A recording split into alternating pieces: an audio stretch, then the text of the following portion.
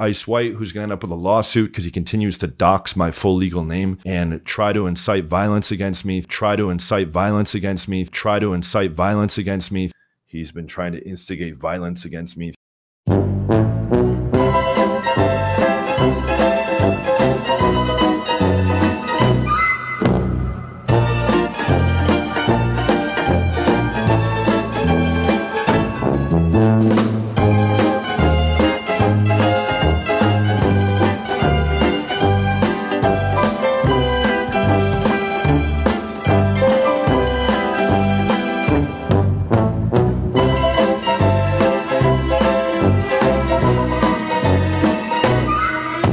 Okay, so he'll find out what happens if he keeps fucking around. I challenge John's censored name to come on debates instead of making pussy ass videos on YouTube, hiding behind lawyers and removing comments. Instead of hiding behind his computer in Brazil, making hate videos and talking shit, he needs to come away from his big subscriber YouTube channel with a suspiciously low number of views compared to subscribers compared to other channels of the same size and have a debate instead of blocking me and being scared like a little bitch.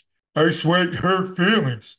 Ice White incite violence. John blocked Ice White. John safe. Shut the fuck up.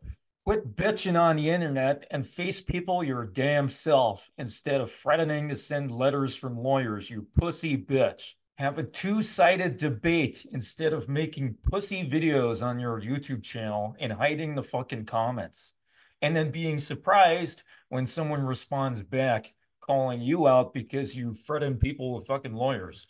If I was scared of John, I would threaten to sue him. I would hide behind lawyers. I would make hate videos all day. It's easy for John to hide behind his fucking computer in Brazil, making hate videos and talking shit, and then uploading those videos to his big subscriber YouTube channel, hiding the fucking comments, avoiding debates. He feels safe behind his own computer on his own videos, but he's not feeling safe right now everywhere else. Pussy move, man fucking pussy move. He makes himself so fucking big on his own channel, but he refuses to go on other people's. I don't know, sounds like a big fucking pussy ass bitch to me. For a man who makes himself look so big, this is fucking pathetic behavior. Of course, he's happy making videos on his own fucking channel. He can say whatever he fucking wants.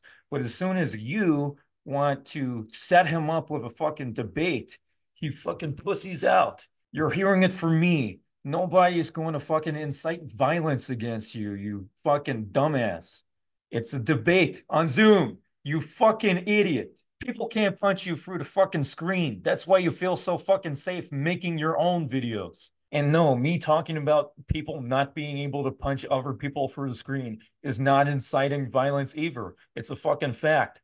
You can't punch me through the screen. So don't fucking bullshit that either. The bottom line is, I'm telling you, you'll be perfectly safe on Zoom. There's nothing to worry about. Nothing to worry about. No lawyers, no threatening to send lawyers, no threatening to send letters, no hiding behind your fucking computer, no hiding comments, no blocking people because they suggested a debate. Like, how fucking ridiculous is that shit? No inciting violence it's a fucking debate, man, on Zoom. Fucking dumbass.